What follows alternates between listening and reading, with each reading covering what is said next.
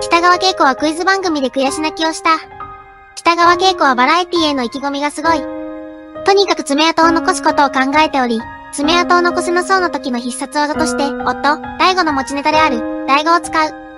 そんな北川は、ドラマ対抗の番宣番組に出演した。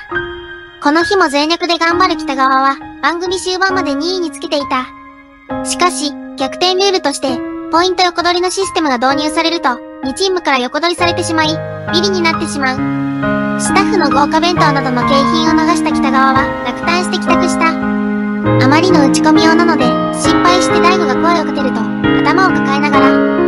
2チームはないだろうが、と、悔し泣きしていたという。こうして、